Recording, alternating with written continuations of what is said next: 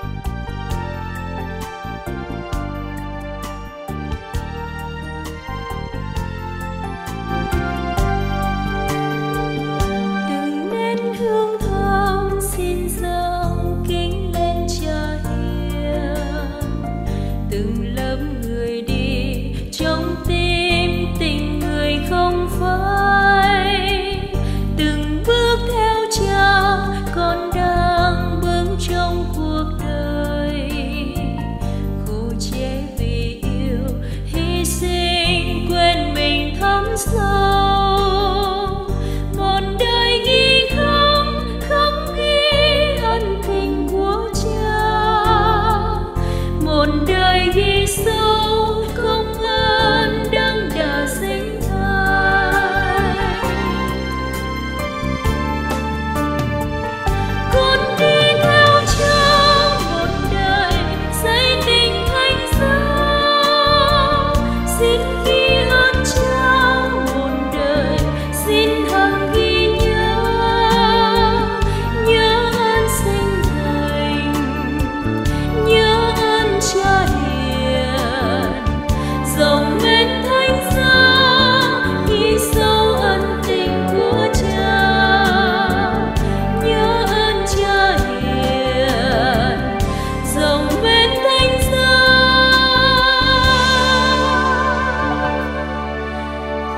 一丝。